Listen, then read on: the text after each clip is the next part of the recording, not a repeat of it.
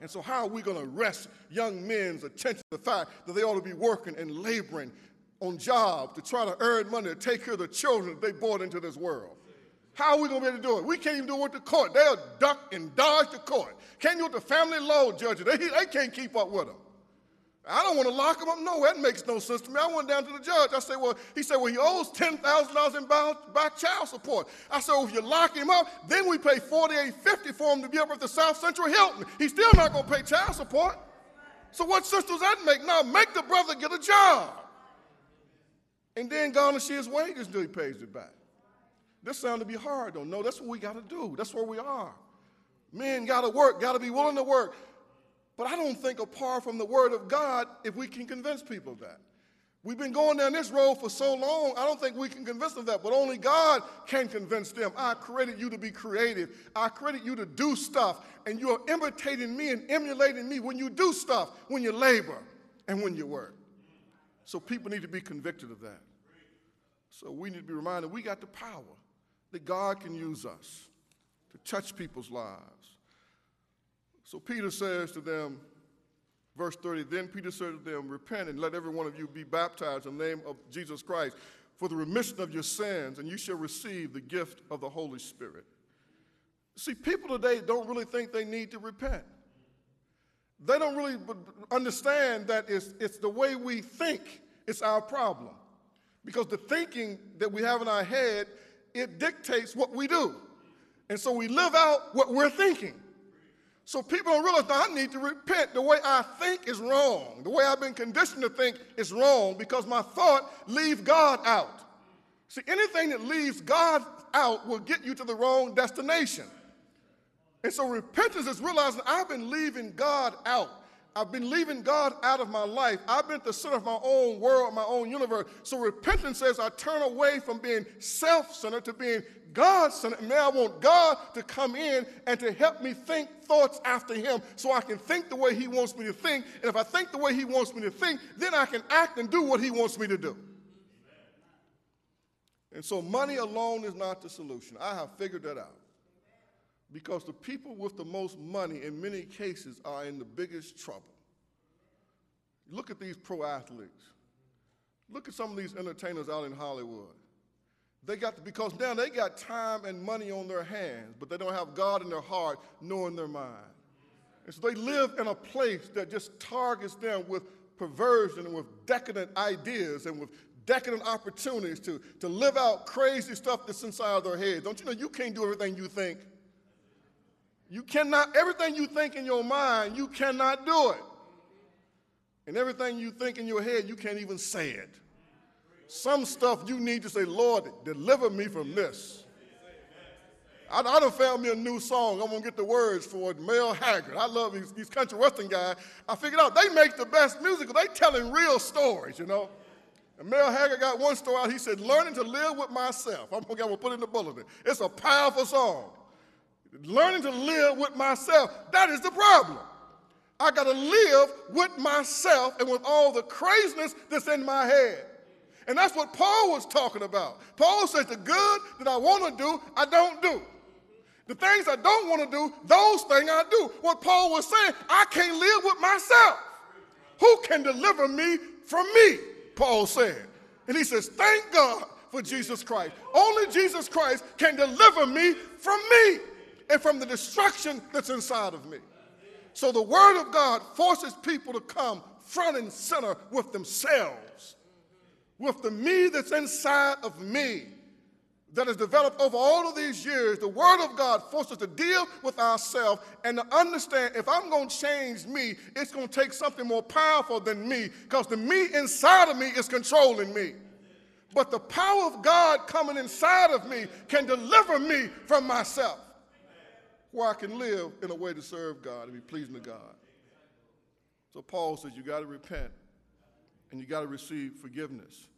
And then you can receive the promise that God has made. For the promise is to you and to your children, and to all who are far off, as many as the Lord our God will call. Why do we need the church to remind us the power that we have and to remind us of the power that we have experienced? And that's why we as Christians, we really got to cry out before God, Lord, to change me. Let's not be satisfied with just going to heaven. Let's not be satisfied with just escaping the fiery uh, uh, judgment of hell. No, let's want, ask God to help us to change us in real time. To be changed in real time so that we can experience the power of God to transform our lives. So our transformed lives they become living testimonies of the power of God. Can I get a witness? Now, I ain't meddling with nobody. So don't think I'm meddling and I, I'm going to say something. I'm going to close my eyes so I don't see nobody. All right? Now, if I go out here telling people how God can deliver people from something, and I got a cigarette and a cigar in my mouth, the Surgeon General already told me it's on the pack now, you see. It's already told me, cannot God deliver me from nicotine? Help me, somebody. So I got to get delivered from something before I can say that God has the power to deliver. So the very thing in my life that I don't want to give up, that I know I need to give up, that's what I need to be falling in before God. Lord, help me to overcome this by your power and your grace so I can stand up and tell somebody, this right here had control of me. But by the power of God, I've been set free. Will somebody help me? That's what it means to be a Christian. Salvation is by grace through faith. It's the gift of God. So, yes, I believe that Christians can drink and smoke and gamble. I believe they can do all of that stuff and get to heaven prematurely, as a matter of fact.